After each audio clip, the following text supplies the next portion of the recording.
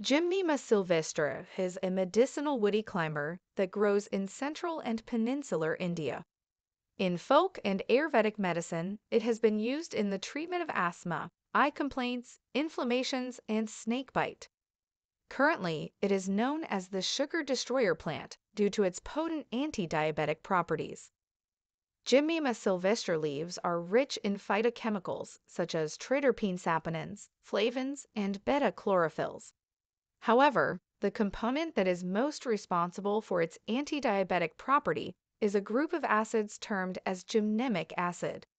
Gymnemic acids have antidiabetic, antisweetener, and anti-inflammatory activities.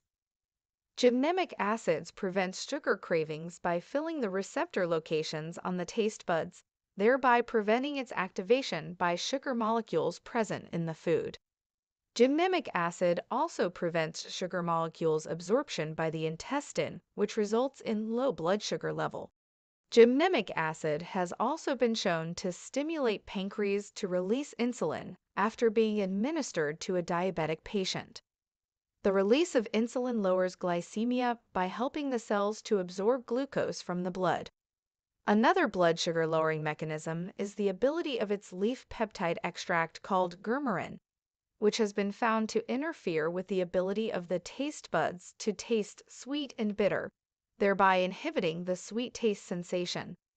People taking it tend to limit their intake of sweet foods, which may be partially responsible for its hypoglycemic effect. That's all for today. Take a look at the description to find out how to contact us and invest in your health.